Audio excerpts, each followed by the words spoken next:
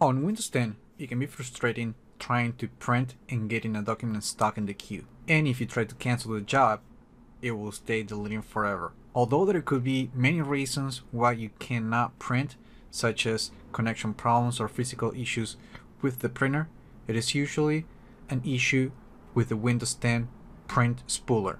This is a system service that spools the print jobs and handles interaction with the printer. And sometimes it will stop working even after restarting the printer or your computer. So if you want to fix this problem, follow these steps. Open Start and look for services. Open the app and then locate the print spooler service. Double click to open the service and on the General tab, click the Stop button.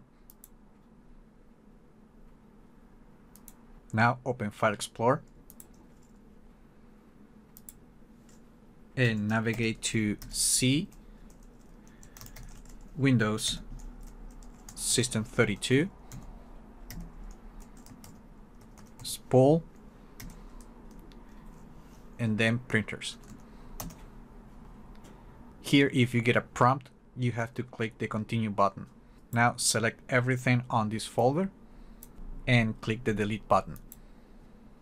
Now let's go back to the print spooler service and click the start button.